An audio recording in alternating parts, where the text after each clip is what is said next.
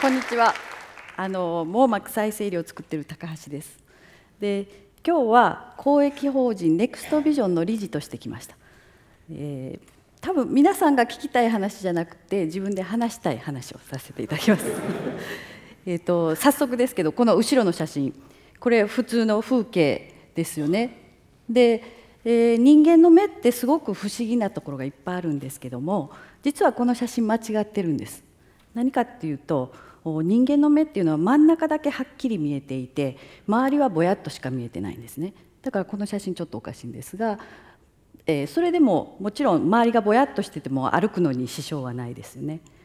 ところが世の中にはこの風景がこういうふうに見えてる人がいるんです。えーと、網膜色素変性という病気なんですけども眼球の奥にある網膜そこで最初に光を受け取る視細胞っていうのがえーと、生まれた時はちゃんとあるんです。で若い時は普通に見えてるんですけれどもだんだんその視細胞がなくなって視野が狭くなる病気です。でも真ん中は見えてますので字が読めるし、えー、スマホも使えるし。だけど人混みでは歩きにくいので見えにくい人が持つ白い杖をついたりしています。でよく誤解されたりもするんですがあこの病気私専門にしています。で、えー、今のところ全く治療法がないので徐々に徐々に視野が狭くなって、えー、次第に見えなくなってしまう方も多くいらっしゃいます。で、えー、今まで歴史上でこの病気の治療ができたことはないんです。けれども科学の進歩は進んでいまして最近では人工網膜っていうのができてます。で、えー、アメリカではもう去年あの FDA に認可されまして今毎週手術しています、えー、サングラスにかっこいいサングラスについた CCD カメラから、えー、網膜の裏側に移植されたチップに信号が送られ送られるんですでそうすると視細胞はないんですけれども他の細胞は網膜の中で残っているのでそれを刺激してその信号が脳まで伝わるということです。でまだまだ解像度が低いので物の形ぐらいしか見えませんけれどももう初めて奥さんの顔の形が見えてもう泣いて喜んでる YouTube の動画なんかがあります。でもういよいよ全く治らなかった病気が少しでも改善するような時代になってきました。我々も頑張っています、えー、iPS 細胞です。我らが iPS 細胞。えこれは別の病気加齢黄斑変性っていう方に治療した細胞ですけども、え患者さんの皮膚から iPS 細胞を作ってそして網膜の一部である網膜色素上皮っていう細胞を作って移植しました。皮膚から網膜の細胞を作る。10年前にはとても考えられなかったことですよね。でもそんな時代になっています。で、えー、網膜色素変性の方に必要な視細胞っていうのも今我々作って、えー、5年以内には治療第1例目をしたいというふうに思っています。この治療我々20年かかってやってきました。で20年の間あらゆるリスクを考えてリスクをなくしてありますのでほとんど細胞については心配してなかったんですけどもこの手術の日これは普通の眼科の手術なんですけども、えー、普通に毎週やってる手術ですけどやっぱり23%合併症のリスクがあります。ですからこの日だけはものすごく緊張しましたけれどもきれいに手術がうまくいって、えー、その夕方には1年後の成功も確信しましたのですごく嬉しかったのを覚えています。でその1例目の方はもちろんあの本当に予想通りに病気が悪くなるのが止まってで注射の治療もいらなくなって明るくなったと言ってすごく喜んでくれています。それが我々の喜びでもあるわけです。でその20年の間にいろんなこと言われました。新しい治療なのでみんな手探りです。で、えー毎週私は外来でその網膜色素変性の方見てますので毎週いつ治療ができるんですか？私の治療してくださいって毎週毎週聞かされている。でもちろん初めての iPS の治療を早く進めてあげようっていう人たちもいっぱいいるんですけれども一方でいやいや慎重にまだまだやってはいけないという人もいっぱいいらっしゃって正反対の意見をずっと聞くんですね。で同意書なんかもですね、えー、最初は安全性試験なので効果のことは絶対書いてはいけない効果があるとかいうのは絶対書いてはいけないっていう人もいればいや効果を書かない効果もないことをやってはいけないでしょうっていう人ももう正反対どっちの意見を聞いていいか分かんない状況。ずっとそういうのが20年間続いてきたのでもう私自身は決めました。人の言うことは聞かないと。で、えー、自分の信念を持って走っていればいつかゴールにたどり着くだろうと思って、えー、来ました。で20年前え研究を始めた頃は網膜の再生って本当にできるかなって私自身もちょっと自信のないところもあったんです。だけど、え再生医療を作るって宣言しました。いろんなところで言ってしまいました。で大きな声で言うことによってすごくいいこともあって、えー、一つはですね自分を追い込むということです。で実際、えー、9年前に、えー、兄弟病院から理研に移る時普通はですね眼科医のコースとしては理研に行くっていうのはありえないんですねですので、まあ、研究をやめてもう普通の眼科の診療をやっていくっていうこともありえたわけなんですけどもその時に思ったのはああもう言っちゃったなと。あの患者さんに約束してしまったなっていうのが一番大きかった。でそれで、えー、研究をやめずに続けようというふうに思いました。でもう一つ良かったのはやっぱり大きな声で言ってるとあこんなことやってると思って応援してくれる人が集まってくださるんですね。それによってどれだけ助けられたか分かりません。でもう一つやっぱり ES 細胞を使ってずっとあの治療の研究をしてましたで ES 細胞なんか使えないよっていう人がいっぱいいたんですけれどもそれでもやり続けていたから iPS 細胞っていうすごいパスがですね突然思いもしないパスが来てでそのままの勢いで走り込んだのでゴールまで世界最速であの達したというふうに思います。でこうやってし、えーと、信じて信念のもとにやってきたんですけれどももう一つ大事なことがあります。科学者としては疑うことです。で科学者の習いとしてはですねあらゆることを疑うと。どんな偉い人が言ってもあの学校の先生が言ってもですね教授が言っても疑う。あるいはネイチャーの雑誌に載っても疑うっていうことがあってでそれを続けてるとだんだんちょっとひねくれた状況になってしまうわけですけれども非常に大事なことです。で、えー、その考え方がちょっと変わってたのかなっていうのは一つエピソードがありまして、えー、うちのラボっていうのはいろんな人がいるんです。いろんな職種の人がいる。中に人類学者がいるんですね。でその人が、えー、フィールドワークをしてるんですけど何をやってるかというとジャングルでゴリラの生態を観察するように研究所で研究室で研究員たちの生態を観察してる。で観察されてるんですけどその彼女がある時私に言いました「高橋先生の考え方ちょっと違いますよ」っていうふうに「えどういうこと?」って言ったら普通は過去にこういうことやってきてで現在があってこういうルールだから未来はこうしようっていうふうに考えるんだと。ところが先生ちょっと違ってこうですねって絵を描いてくれました。はい、で、えー、未来っていうのがあってそこそこからそこを到達するためには何をやるかっていう逆算的に現在を考えてますねって言われました。しかも何が起こるか分かんないからその道筋はいろいろたくさんあってしかもフレキシブルぐちゃぐちゃです。でこの話を聞いて私はすごく納得し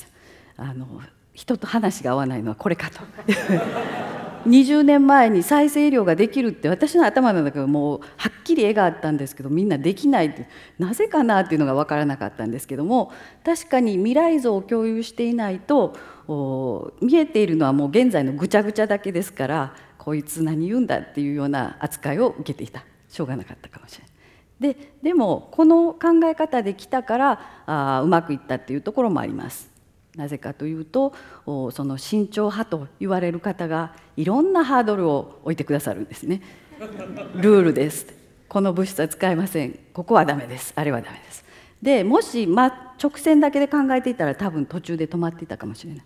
けれども何本も持っていたしフレキシブルだったのでまあスイスイとあの避けてですね一説にはあの関西から今日来ましたね関西人はルールに書いていないことは全部自由だと思っていると 言われてまさにその通りでどこに隙間があるかをずっと考えながらあ到達したということです。こういうふうに、えー、最初の一例は自分の細胞を使う自家移植というものでした。で多家移植っていうのはあそれの延長ではなくて別の線としてもう最初から準備していたんですね。ですので、えー、速やかに高移植に移ることができました。で先日この次の臨床研究の記者会見をしまして、えー、ついに第2弾の臨床研究をすることになりました。であのこの時の人と同じやなと分かってもらうために同じ服着てきました。はい で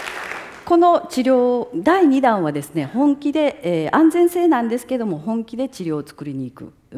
えー、連合軍ですねもう世界最強の連合軍で、えー、治療にしたいというふうに思っています。でえー、まあこういうふうに順調にいってるんですけれどもそれでも再生医療っていうのはまだまだ始まったばかりです。えー、ライト兄弟が300メートル飛んだのと同じ状態なので、えー、シートベルトを締めて、え、安全に何も考えなくてもハワイまで連れて行ってくれると誰もが治療していい視力になるような治療になるっていうのはまだまだ時間がかかります。でそれを一番知ってるのは私たちなので、えー、例えば網膜色素変性の方の視細胞移植もう人類初のことだと思いますけども治療として考えると少しわずかに治るだけっていうのをもう実感してるわけですね。でそうしますと10年前ぐらいはすごく悩みました。えー、報道されるたびに毎週外来やってますから、えー、目の前に来て、えー、新聞記事を握りしめて来られる方がまだまだ治療できないとかあるいはそんなに思うほど見えるようにならないんだって知って泣いて帰っていくんですね。ですごくつらかったです。これは私患者さんが喜ぶためにやってるのに再生医療って幸せにつながるのかなっていう疑問が湧きました。その時にこの言葉を教えてくれた人がいました。健全な諦めっていうこと。で、えー、どうしてもあの今はいろんなデバイスで、えー、見えにくくっても読み書きできるんですけれどもそういう話をしても全然受け付けないもう再生医療の話しか聞こえないっていう人がいっぱいいらっしゃいます。でそこでぶつかってあの足踏みをしてるんですけどもその時にはやっぱり疾患が治らないといけない見えないといけないっていうのをちょっとそこは今のところは諦めないといけないというところがあります。だけど全部諦めてはダメで、えー、諦めない部分っていうのが非常に大事です。で今はあデバイスが発達しているので、えー、この若い三宅先生っていう眼科医であり産業医の先生は見えにくい人用の iPad の講習会と全く見えない人用の講習会をしてます。つまり全く見えなくってもこういう道具を使えば読み書きして働けるんですね。だけどそれを知らないために仕事を辞めてしまう人がいっぱいいるっていうのを私は知っています。で、えー、まあいろんなアドバイスをして、えー、うちの外来に来てあの辛い気持ちをいっぱい聞きます。そして、えー、泣かれる方がいっぱいいらっしゃる。中にはでもあ思ったほど悪くないんだと未来がですね、えー、思って安堵の涙を流してくれる方もいらっしゃいます。でそういう涙に私たちは泣きません仕事ですので。だけど一つどうしても辛いことがあるんですね。それはあ障害のあるいは見えにくくなっていく子どもさんを持ってる親御さんの気持ちですね。それはもうど一番辛い。で子どもは割と平気だったりするんですけどもその親御さんをどう慰めていいのかっていうのは非常に難しいです。でいろんな親子関係を見せていただくんですけどもその中で、えー、親御さんがどういうふうにその疾患あるいは視覚障害を考えているかで子どもの人生が全然違います。割と平気に普通のことのように接する親の人だと普通に育っていくんですけど中には見えないことがかわいそう何にもできないからやってあげないとっていうふうに囲い込んでかわいそうにしてしまう親の方もいらっしゃるんですね。で、えー子供が小さな子供小学校の低学年ぐらいが自分も辛いだろうに不安だろうに親が心配するから見えるふりをするんですね。でそれをに気づく時はいつも非常に辛い気持ちがします。でこれはちょっと違う対応なんじゃないかなと思っていたところよく考えると社会全体もそうかなと思います。視覚障害かわいそう何もできない人そういうふうに接するとそういうふうになってしまうわけですね。ですからここを変えないといけないなというふうに思ったわけです。で、えー、30年ぐらいも医療人をやってますと、えー、医療っていうのは治療もちろんできたらいいんです。え、治療することが本業なんですけどもたとえ治療できなくっても患者さんに、え、安心と満足が与えられたらいいのかなっていう境地になってるんですけどもそう思いますとそれっていうのはもう医療者だけじゃなくて誰でもできることなんですね。で今はあの先生医療とか予防医療とかが非常に重要になってきて本当に医療っていうのが病院の中だけじゃなくて社会に出ていかないといけない時期です。で、えー、私自身あの世界初の iPS 細胞どうしてできたのかなあるいはロービジョンケアっていうのを一生懸命やってますどうしてですかって聞かれた時によく考えたら別に人類初のことをしようとかですねあるいは患者さんのためとか言ってますけどあのまあ人のためっていうのは大体自分のために決まってますね。でよく考えるとやっぱりそうではなくてですね半径3メートル以内にいる人が悲しんでるのを見るのが嫌っていうそれだけなんですね。でそれだけでここまで来た。で私の場合、まあ、毎週外来に患者さんが来て辛い目を見ますのでそれを何とかしたいというもう半径3メートルの話だけでそういう人は多分多いはずでですからこの問題をみんなの問題であるっていうふうに問題をそっちのみんなの3メートル以内に持っていけばいいなっていうのを分かりました。で、えー、公益法人を作って今やってるのが IC 運動です。そうやって、えー、例えば企業の方あの不理解理解してもらえないためにまだまだ働ける人がどんどん辞めてるんですよあなたたち問題そばにありますよっていうことを持っていけばいいんじゃないかなというふうに思っています。で、えー、そういうふうに感じてたところ最近ツイッターで見つけた言葉がありました。医学の発達であなたの目をきっと目もきっと見えるようになりますよってよく言われるけどそれは慰めのつもりで言ってくださるたびに目が見えないことが悪いんかいと思ってしまうとむしろ見えなくても生きやすい社会になりますよと言っておくれっていうことでこれは私本当にそうだと思っていてこういう社会を作りたいんですね。でそのためには社会もですし、えーと、障害者あるいは見えにくい人の人も変わってもらわないといけない。でこれよく私講演で使うんですけどニーバーの祈りっていう有名な言葉です。変わらないものを受け入れる寛容さと変わるものを変えようとする勇気。そしてその2つを取り違えない英知。これが大事であると。で確かにそうなんです。皆さん再生医療でも残念ながら、えー、元通り見えるようには今はならない、まあ、50年後は多分できると思うんだけど今はならない。だけどそれなりに変えられないものを変えようとして必死でもがいている。で一方でデバイスを使えば読み書きできるんだけれどもそれをいくら進めてもそうしようとしない方がほとんどなんですね。ですので、どうやらその2つを取り間違えている方が多いんじゃないかなとそれを外来でお伝えしてそうするとそれだけで安堵の涙を流してくれる方もいらっしゃるんです。でそういうふうに毎週まあ患者さんにずっと言っていたらですねいつの間にかあれ？これは、えっと、患者さん向けじゃなくて、えー、みんなにあるいは自分にもそうだなと間違えてないかと変えれるところと変えられないところ間違えてないかなっていうのを思いました。で、えー、もし不満とか不安があるようでしたらちょっと考え方を変えてちょっと違うところに行くと、えー、障害にぶち当たって行き止まりで直線で行こうと思っているところがあすっと世界が広広がるのかもしれないというふうに思っています。ですので、えー、もし不満とか不安っていうのがある場合は、えー、変える人になってみたらどうかなというふうに思います。それがメッセージです。どうもありがとうございました。